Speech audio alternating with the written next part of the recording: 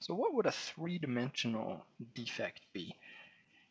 Um, and in fact, it's interesting, I think, to think about the dip, what's the difference between a three-dimensional defect and a zero-dimensional defect. Um, and so zero-dimensional defect would be something like, um, for example, a, um, an, an impurity atom. Okay, impurity atom. That is a single atom that's sitting there where it shouldn't be. I mean, where it's you know surrounded by other types of atoms, by solvent atoms. So there's a it could be substitutional, it could be interstitial.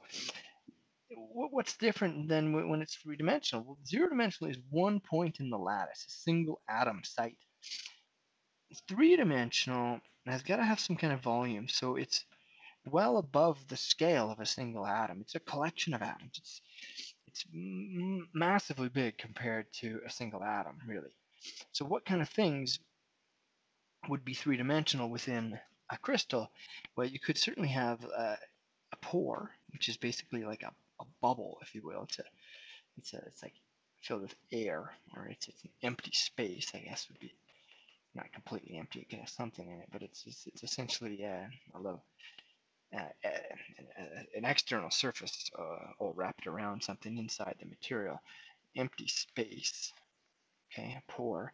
Um, you could also have some other type of material, uh, another material, so we call sometimes call that a second phase. It's a different crystal structure, different properties. Um, and those particularly actually are very interesting in, well, both of these actually in, in material science. So we're studying solids and materials, matter.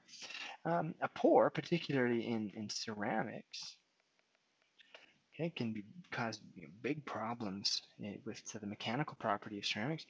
And second phases are used in many, many, many metals uh, as a strengthening mechanism. Particularly, uh, there's a type of strengthening called precipitation hardening precipitation hardening. And it, it, we, we just very careful formation of these precipitates. And that's a second phase coming out of solution, but just in the solid state, in the solid state.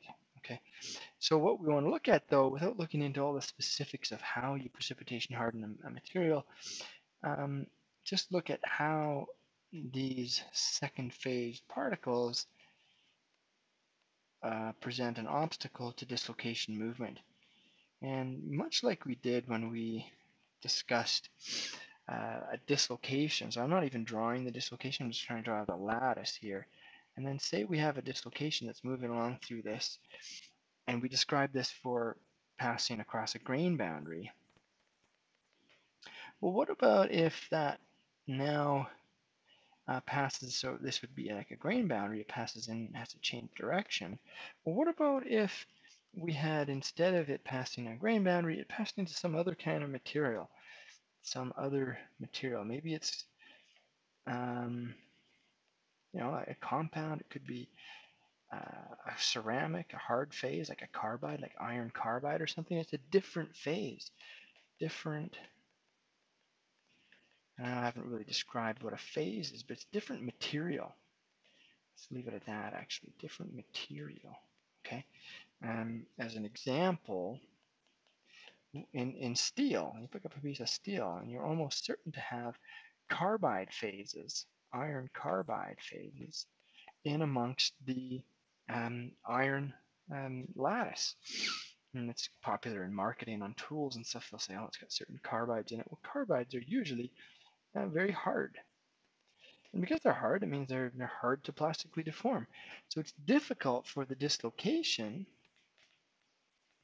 to cross that boundary and get into the second phase. So this, these second phase particles present, again, they present second phase particles, which is a type of volume defect or three-dimensional defect, these second phase particles um, present an obstacle